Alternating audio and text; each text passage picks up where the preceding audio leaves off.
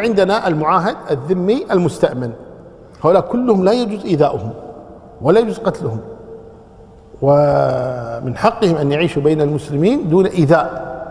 والنبي صلى الله عليه وسلم يقول من آه، آذى ذميا فأنا حجيجه يوم القيامة.